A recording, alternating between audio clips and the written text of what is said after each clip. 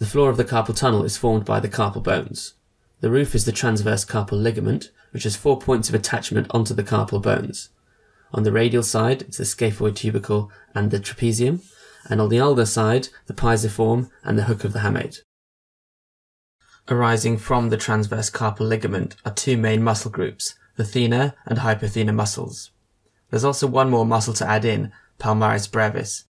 This runs from the transverse carpal ligament and palmar aponeurosis to the skin on the ulnar border of the hand. It's a muscle you'll often see during your approach. While we're here, let's go over the difference between the transverse carpal ligament and the flexor retinaculum. They're often used interchangeably and that can be confusing. The transverse carpal ligament we can see here with our four attachments as described. The flexor retinaculum, however, is a larger structure which actually incorporates the transverse carpal ligament. It has three main parts. The distal portion is an aponeurosis between the thenar and the hypothenar muscles. The thick central portion is the bit that we're interested in for our carpal tunnel release and is the transverse carpal ligament. The proximal part of the flexor retinaculum is continuous with the deep investing fascia of the forearm.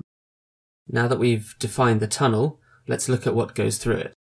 It contains the four tendons of flexor digitorum profundus, the four tendons of the flexor digitorum superficialis, and the tendon of the flexor pollicis longus, and of course, the median nerve.